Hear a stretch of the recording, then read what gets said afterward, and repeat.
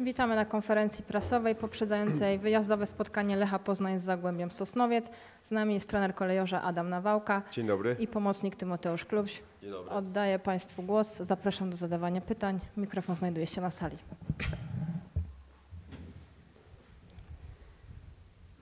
Dzień dobry panie trenerze, Maciej Ryman, Głos Wielkopolski.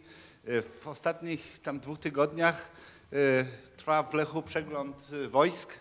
Jakie wnioski? Czy ci młodzi zawodnicy już się nadają do ekstraklasy, czy, czy jeszcze trzeba poczekać? Na ostateczne wnioski musimy jeszcze poczekać. E, Jeszcze jest kilka sesji e, treningowych e, i z pewnością dokonamy takiej dokładnej analizy tego, co działo się na treningach. Pierwsze moje wrażenia są bardzo pozytywne. E, Kilku e, zawodników e, zaprezentowało się naprawdę z bardzo dobrej strony. Mam tutaj na, na myśli nie tylko młodzież, która występuje w akademii, ale również zawodników, którzy są na wypożyczeniach.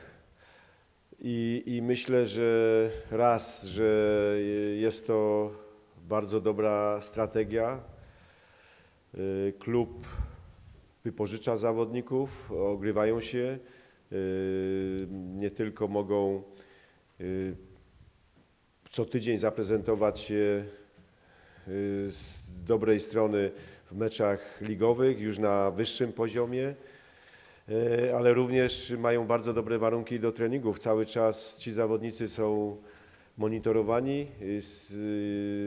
są w kontakcie ze sztabem szkoleniowym, także tutaj wszystko jest pod pełną kontrolą, robią postępy, jest progres.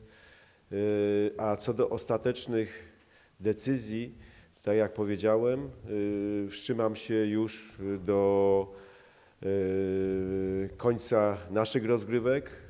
Wtedy będzie pełne podsumowanie zarówno występów zawodników, którzy są w naszej kadrze, jeżeli chodzi o rozgrywki ekstraklasy, jak i również y, te ostateczne decyzje co do kadry, y, kadry tej szerokiej, m, na e, okres przygotowań zimowych, już na okres rozgrywek wiosennych. Także spokojnie na razie nie chcę, nie chcę mówić o szczegółach, wszystko jest w toku.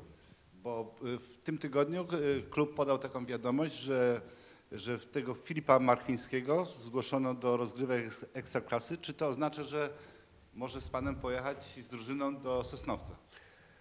Tak, co do Filipa, to taka była moja y, prośba, aby y, już była możliwość skorzystania właśnie z jego usług w meczach ligowych. O tym zadecyduje jutro, czy, czy Filip będzie w kadrze meczowej na najbliższe spotkanie z Zagłębiem Sosnowiec.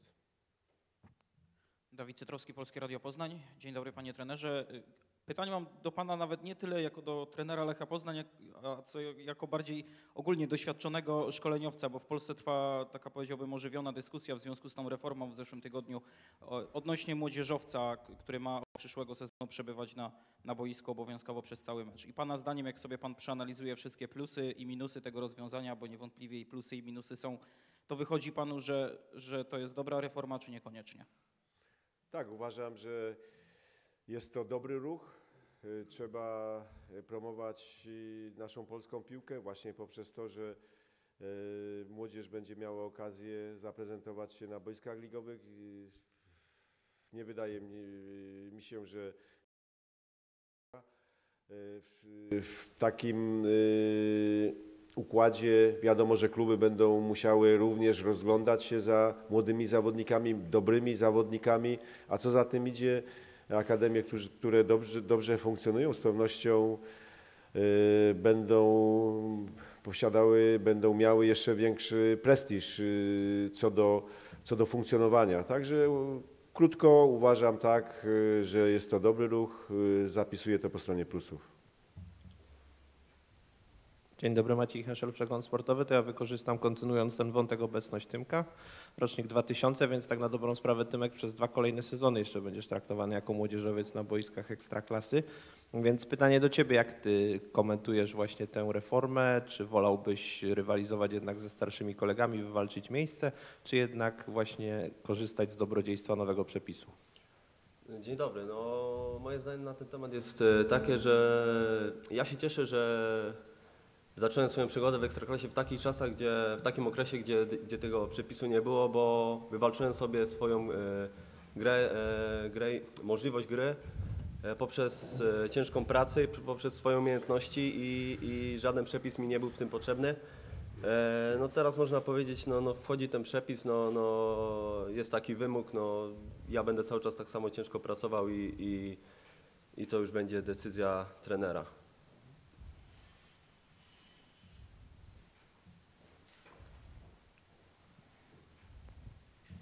Panie trenerze, to krótko o sytuację kadrową przed tym spotkaniem z Zagłębiem Sosnowiec i przede wszystkim o tych kontuzjowanych chciałem podpytać. Kamil Jóźwiak, Tomasz Cywka, czy oni, oni do dyspozycji będą już w niedzielę? I Tomasz Rogne przy okazji też. Nie, nie będą. Również Maciek Gajos nie będzie do dyspozycji e, z powodu e, urazu mięśnia czworogłowego. E, Tomas wrócił, trenuje z nami i jest w pełnej gotowości.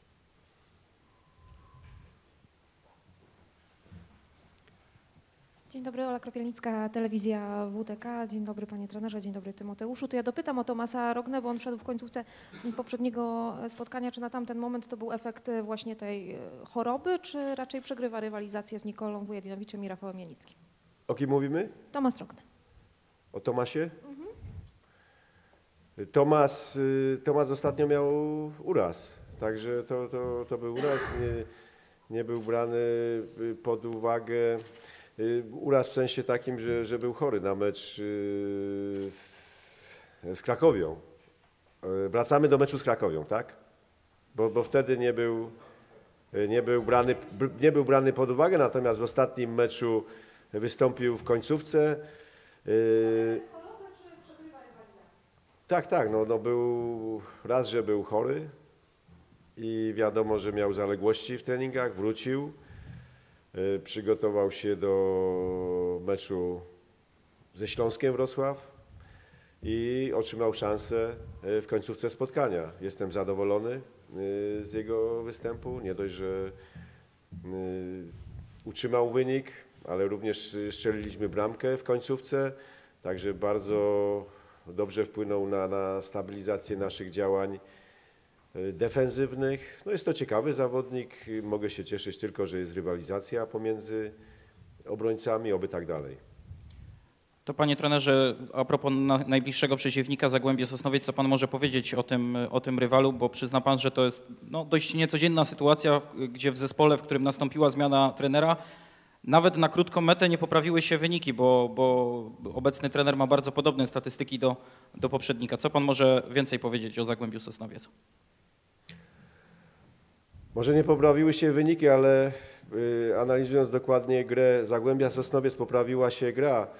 E, Nawet y, analizując tak y, poprzez osiągnięte wyniki, to widzimy, że przegrywają bardzo taki minimalny sposób.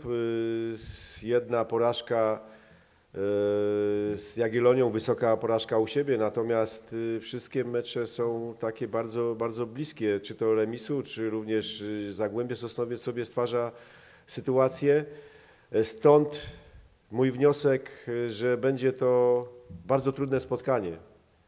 Y, Drużyna, która w ostatnim okresie właśnie przegrywa swoje spotkania, y, potrzebuje bardzo punktów, mają taką bardzo niedobrą serię. Y, Praktycznie w pięciu meczach jeden punkt y, zdobyty, stąd y, przed spotkaniem z nami y, będą zdeterminowani i z pewnością zrobią wszystko, żeby te punkty osiągnąć. Takiego meczu musimy oczekiwać, musimy się spodziewać i, i z pewnością nasza koncentracja również musi być bardzo duża. Nie możemy sobie pozwolić na to, że zlekceważymy przeciwnika, że punkty już zostały przydzielone przed meczem. Takiej sytuacji nie możemy y, być. Spodziewamy się trudnego spotkania. to boisko decyduje o tym, kto zdobędzie punkty i my musimy być w każdym elemencie, y, począwszy od y, przygotowania mentalnego, poprzez taktyczne i również przygotowanie fizyczne, być przygotowani na bardzo e, trudny mecz. Y, Tym bardziej jest on dla nas ważny. My potrzebujemy również trzech punktów. O to będziemy walczyć właśnie w kontekście e, zarówno e, meczów wiosennych, e, w kontekście układu e, tabelarycznego, jaki, jaki jest obecnie. E, Mamy dużo strat do, do czołówki i chcemy to, to nadrabiać. I z takim nastawieniem y, pojedziemy właśnie do Sosnowca, oczywiście cały czas szanując przeciwnika. Y, Wielu, wielu zawodników y, do, prezentuje się naprawdę z dobrej strony, mają zarówno zawodników o takim, o dużych umiejętnościach piłkarskich, jak i również zawodników bardzo szybkich, groźnych w kontrataku i na to, na to musimy być przygotowani, tak aby tutaj nie, nic nie, nie, nie przytrafiło się takiego, co, co mogłoby wpłynąć na, na to, że na nasze plany no, w- nie będą realizowane. Tymoteuszu, y, w ostatnim meczu dostałeś około pół godziny gry od trenera. Czy czujesz się przygotowany, żeby ewentualnie oczywiście w następnym meczu wystąpić w nieco większym y, wymiarze czasowym, bo wiemy przecież, że jesteś y, po kontuzji, no a wiem, że pewnie nie będziesz chciał się do tego odnosić, ale liczby za Maciejem Makuszewskim ostatnio nie stoją. No były to ważne minuty dla mnie, te, te 30 parę minut e, spędzone na boisku. E, No wiadomo, wiadomo jest to, że, że ta runda można powiedzieć no nie do końca jest dla mnie udana, no zbyt dużo urazów, z jednego urazu się wyleczyłem, przyplątał się drugi i nie mogłem znaleźć tej po prostu odpowiedniej formy. E, No był to ciężki okres dla mnie, no ja się cieszę, że, że już z niego wyszedłem i, i dostałem, dostałem szansę od trenera w, w tym ostatnim meczu i, i teraz jestem gotowy na, na kolejny mecz. Czuję się, na, czuję się do tego, żeby, żeby zagrać pełnym wymiarze, no ale to już jest decyzja trenera. Czy są jeszcze jakieś pytania? No, Panie trenerze, to jeszcze wróciłbym do Filipa Marchwińskiego, bo miał pan na treningach w ostatnich dwóch tygodniach sporo piłkarzy z rezerw, z juniorów i tak dalej, tych piłkarzy wypożyczonych. Zdecydował się pan zgłosić do ekstraklasy tego najmłodszego, tego, który jeszcze 17 lat nie ma. Dlaczego taka decyzja, co pana, że tak powiem, urzekło w tym zawodniku? Pomimo bardzo młodego wieku, e, widać u niego już y, spore umiejętności piłkarskie, dużą taką dojrzałość wykazuje, e, jak na właśnie swój wiek. E, Mówię tutaj o realizacji założeń taktycznych, czyli jest to zawodnik o dużej skali talentu. E, I, i cieszę się, że, że jest z nami, y, bo praca z młodymi, utalentowanymi zawodnik, y, zawodnikami sprawia y, bardzo dużo radości, jest wielką satysfakcją dla nas tre- trenerów i, i z pewnością trenowanie, opieka, wytyczenie zielonej takiej drogi rozwoju zawodnika jest niezwykle istotne co do, co do naszych właśnie kierunków szkoleniowych. Y, Dlatego też y, Filip bardzo ambitnie trenuje, widać robi postępy wręcz y, z dnia na dzień, ale nie ma się co dziwić, bo, bo wiadomo, że trenując y, z pierwszą drużyną czerpie y, z umiejętności wszystkich zawodników. Jest to taki bardzo ważny okres dla młodych piłkarzy, którzy dołączają do, do pierwszej drużyny, już mogą skonfrontować swoje e, umiejętności, a jednocześnie cały czas uczyć się czerpać z tego, co dzieje się na treningach, zarówno y, od, uczyć się od piłkarzy y, bardziej doświadczonych, y, którzy już y, wiele w piłce osiągnęli, jak i również jeżeli chodzi o taktykę, jeżeli chodzi o, o treningi, które prowadzimy.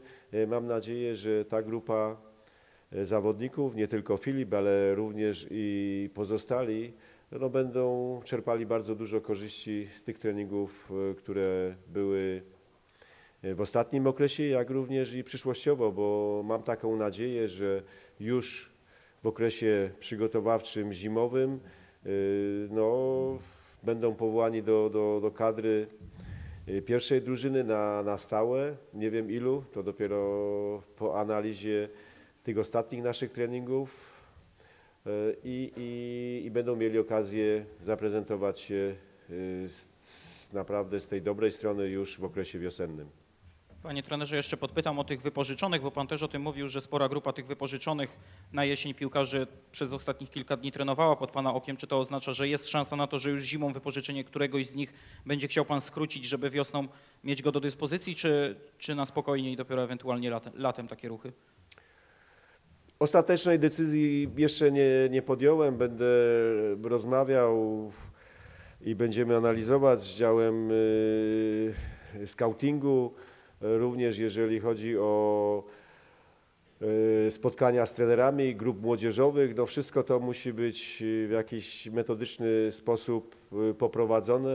Tak działa Lech Poznań, tak funkcjonuje y, Wydział Szkolenia i, i tutaj te ostateczne decyzje będą podejmo, podejmowane dopiero po takich y, rozmowach, po, po konsultacjach. Dlatego też nie ma, nie ma co teraz y, rzucać słów na wiatr. Y, Spokojnie, mamy trochę czasu y, zarówno do zakończenia jeszcze sezonu, dwa mecze, jak i później czas na podjęcie ostatecznych decyzji po analizie już całego sezonu jesiennego. Panie trenerze, wspomniał Pan, że tutaj dwa mecze zostały.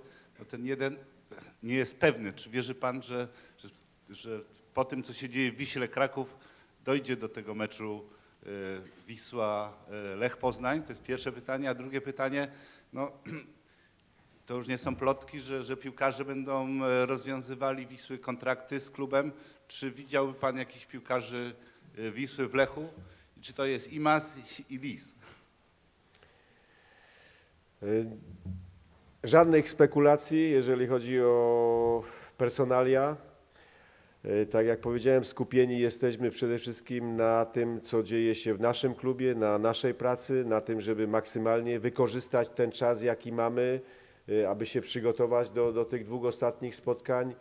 Y, Nie ma mowy tutaj o tym, żeby, żeby w ogóle dopuszczać taką sytuację, że nie będzie ostatniego meczu. No, no nie, no takiej, takiej, takiej strategii akurat nie mamy i, i nigdy by mi to do głowy nie, nie przyszło.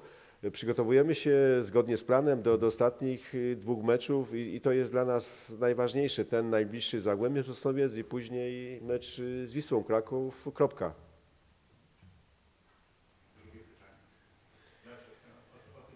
No to, to powiedziałem y, w, w pierwszej części mojej wypowiedzi, że żadnych spekulacji na temat personali, co do, co do transferów, co do, co do przeciwnika. Nie widzę więcej pytań, w takim razie dziękuję i do zobaczenia. Dziękuję.